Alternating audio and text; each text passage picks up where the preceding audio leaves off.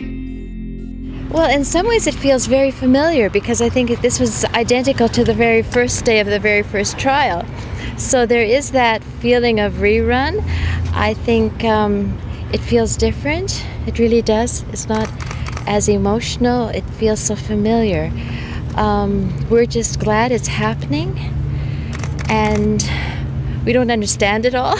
we're very um, perplexed, but it's. Uh, I'm glad the day has come.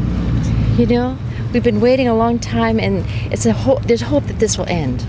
Uh, it's something that we just have to be patient with. Um, we know that you know we feel we know the truth, and now we have to go through it again. I guess Canada is draw, is crossing its T's and dotting its I's, the justice system, and and uh, hopefully is trying to get it right this time.